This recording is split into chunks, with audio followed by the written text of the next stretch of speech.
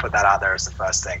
He is he is absolutely brilliant. I mean, Oh. I, I really can't think of any other way to describe him, any other word. He he's five steps ahead of Oh, everyone five else. I mean, steps. and that's the funny part is then reading the media reaction to him, and you know he's an idiot. He doesn't know what he's doing.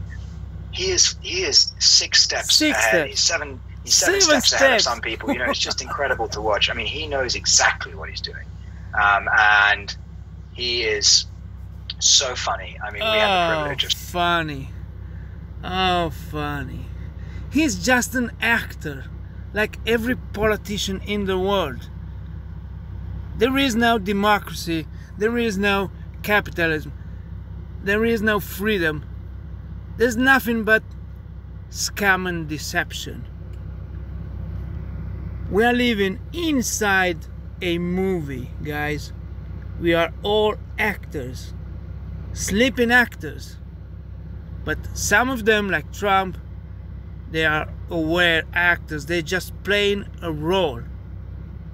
They're nothing but actors. So, wake up, guys. We are living inside the Truman Show. Nothing more.